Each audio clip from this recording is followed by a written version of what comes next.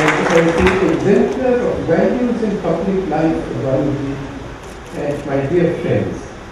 Sir, the problem of uh, Shekhar is presiding over this. Shekhar is, Shekhar is my editor, and he knows. Sir, the problem of speaking only for 10 minutes is that this book is longer than even my articles.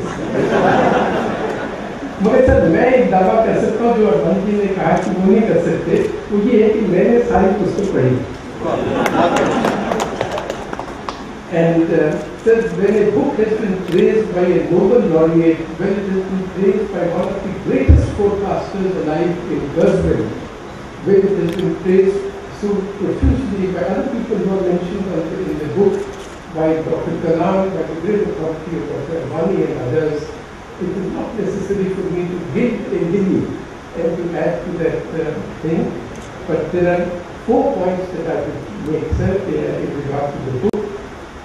See, one thing is that in many parts, in many cases, apart from the linking of Gandhiji with internet and so on, uh, Sudheendra weaves in anecdotes and descriptions of Gandhiji that bring him alive.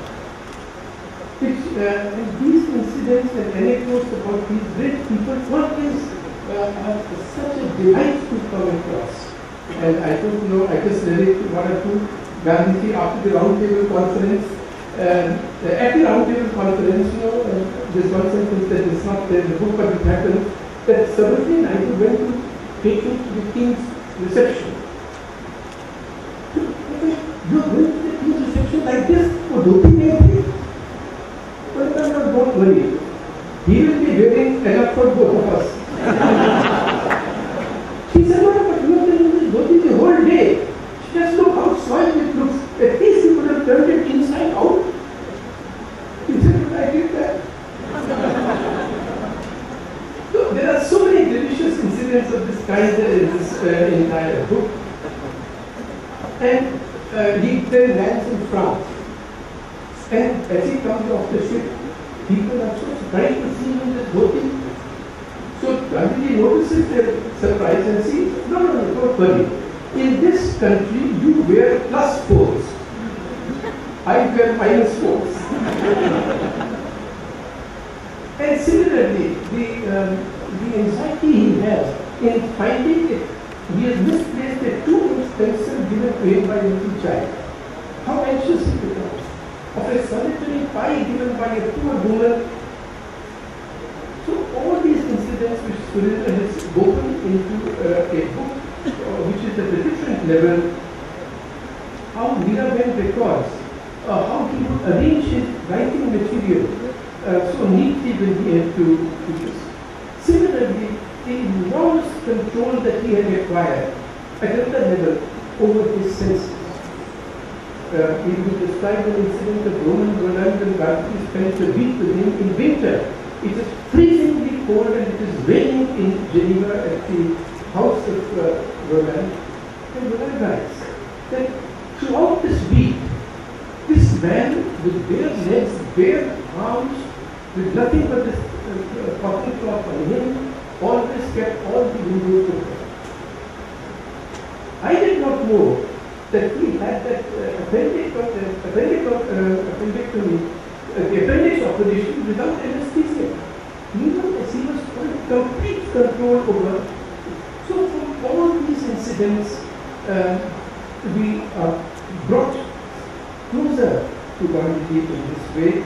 And I am sure therefore this book will start many conversations about such a great figure and bring him nearer to us. So the second point is that actually this book, as Advaniji was just telling us, like Dr. Kalam said, it takes us beyond, it, it uh, induces us to look beyond cliches. For instance, that Gandhiji was anti-machinery, that Gandhiji was anti-science and technology, and Sudheendra records his great admiration for Acharya uh, uh, Ray, uh, Acharya P.C. Ray and other Indian scientists, for Indian industrialists who were building up our country, and all this said and written without any self-consciousness. Today, people meet industrialists behind a closed door, but will not raise an open because they think that they are carrying it मैंने पैसा लेकर मिला But look at the unself-conscious manner in which Gandhiji faces Jaldevi Tata uh, quoted there, Gandhi.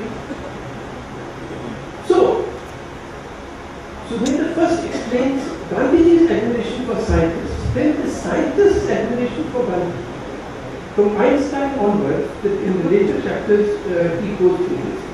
And even important, Sudheendra recounts that in everything, actually, Gandhiji's approach to his own universe was completely that of a scientist. After all, his own autobiography is called My Experiments with so experiment, verification, uh, reinvention and so on. And so uh, in if you see Lake Tali, if you see diet, if you see charka, if you see sanitation, nature cure, treatment of leprosy, the restraint on the senses, including the sexual urges, when all these things being correctly points out that this approach was entirely a scientific approach of experimentation, verification, discarding, innovation. And that is why in a very touching tribute that uh, put of uh, Einstein at the end. Einstein refers to his things, uh, to Gandhiji's things as not even innovations but as inventions. And that is certainly the case in public life. But even more, like the Buddha, like Patanjali, like every one of our rishis, Gandhiji was the scientist of the mind. This has been the unique contribution of India because we did not have those instruments that we have today. But our rishis really explored inside as scientists and then study things about the mind. And in Gandhi's case, that is his constant preoccupation in this way. And the, but the book illustrates also a contrast between him and us. See, but why is Gandhi's word or why is the religious scripture? Or why is it great poem? Always, how does it resonate in our hearts? Because those persons writing those scriptures, those poets, or persons like Gandhi, whenever they are confronted by an issue or a dilemma, they pronounce on it, they come to a conclusion on it based on a higher vantage point, based on a great idea based on a principle. What happens to us is that we get stuck, we fetishes of their words, which are uttered in that particular context, and we forget the great principle, which is what Supreme reminds us. And that is why, by looking at the principle behind Gandhi's formulation on the charka, on why he was opposed to some kinds of machines that would look forward to the universal machine, he takes us to those principles and from that he deduces why Gandhiji would have welcomed internet, nanotechnology, why would have uh, this great, the future of uh, manufacturing in this 3D printing, how all these things would have been welcomed by him because they flow out of the principles which his experiments had led him to be in. And in the end of the book, Sudhir gives a very fine uh, enumeration of 15 point charter for Internet Institute for the Modern Times. That's a very good summary for But I will commend to you a, a, a meta principle in all this which is very necessary for us to remember, even for devotees of Gandhiji. And that is that the, the principles were what Sudhir has diffused. But the meta principle was that Gandhiji and all these great people, they thought for themselves. We have to remember that. In India, we have become so, uh, so uh, in one respect, we are correct. We have become such dwarfs, and such dwarfs in our own eyes, that we do not now think for ourselves, and we keep looking for quotations which we can apply to a particular problem. So that is one point, sir.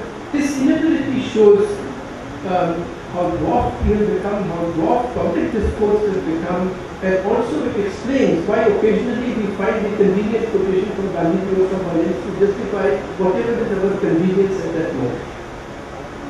The third point about this thing is And the secret to Gandhiji's case was why he remains relevant is that he, he went where the facts led him, like a science. He, there is a thing called in intellectual work, there is a thing known as the failure of nerve.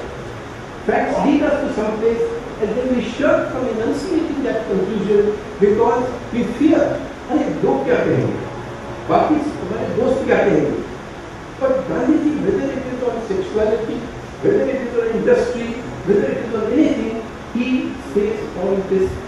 He enunciates what the facts lead him to. That is why what Subindra begins with his critique of Western civilization in Hind Swaraj. His critique of lawyers in Hind Swaraj and later on, they remain so contemporary till this day. But our misfortune is that while we name Gandhiji's photographs on the wall, we are going following exactly that high consumption, energy intensive, fossil fuel dependent course of uh, production. And the, our professionals have completely given up all value. Gandhi recounts at great length in autobiography elsewhere also the lawyers have it of saying anything that is convenient at that moment for that particular client. And how he would insist that if I, in the middle of the trial, I got to see, realize that my client has uh, lied to me, he would get up for the magistrate and say, no, this person is telling a lie, I withdraw from the case. But today, because our, in, I'm just taking one example of the profession, we say whatever is convenient for the moment, and when those habits are translated, or are projected onto public life, then the consequences are what we see today. Third point is, the one thing to which we have shut our eyes, and the one thing on account of which we have erased Gandhiji from our minds is conduct. His unremitting um, emphasis on conduct. There is, a, there is a sentence in the book which I tried can be misinterpreted. That when he's talking of sexuality in the rigid rules that Gandhiji laid down, um, so there is a fails to say that these apply to his immediate circle, not to people in general. But actually speaking, his, the criteria he laid down for satyagrahis were not only for the ashramites, they were for anybody participating in the movement. So that type of emphasis on conduct we have completely given. That was the secret of Gandhiji's moral authority. He did not have moral authority, he was not a Mahatma, and therefore he had that contact, he had that contact, and therefore became recognized as a Mahatma and exercised that moral authority. There is a touching passage there, a recounting by Bain of how she go, an emperor's daughter, uh, with a chakra in her hand, and Gandhiji, who's hardly audible on the stage, has told the women, give up your ornaments into these sheets. And people give up their ornaments. Mangalsutras are given, the only small things they have, they throw it. That that. Can you imagine that having in the American journal, Philippus uh, account of the salt march, he says that, you know, Gandhiji at one stage was decaying, he could not continue. And Sarojini Naidu was leading that position. And Vilika said he was standing there, and the, and the policemen were there, and they uh, hit the Congress uh, marchers on their heads. He said, I heard the skulls crack. But they continued marching. Those people could stop, but the others continued marching. Only because of the moral authority of this one man. And the, and the, secret of this was his conduct. There was no difference between what he taught and professed and what he preached. Today, every time when we invoke Gandhiji, people see not that we are devoted to Gandhiji, but that is the distance between him and us. Similarly, today all sorts of rationalizations are coming up about private life and public life. Gandhiji made no distinction. So, I would end from this book with two appeals to everyone who reads this book. One is never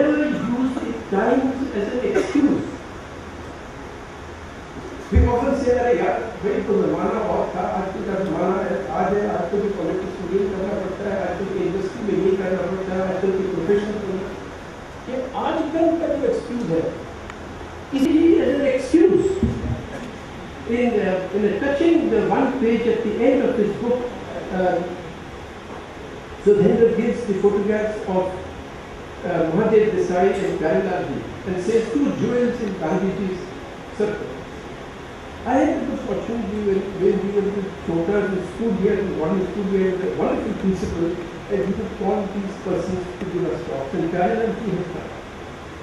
And I still remember him, he had walked from the Shankar market to school, and he told us, कि जब तुम उम्र कई बार तुम्हें ये ख्याल आएगा लोग तुम्हें कहेंगे अरे भैया तुम तो महात्मा नहीं हो तुम तो महात्मा गांधी हो अरे तुम ही काम करोगा। इसे वो ना होने देना। ठीक है तुम महात्मा गांधी नहीं है नहीं हो मगर सारी उम्र चार आना गांधी बनने की कोशिश करते रहे।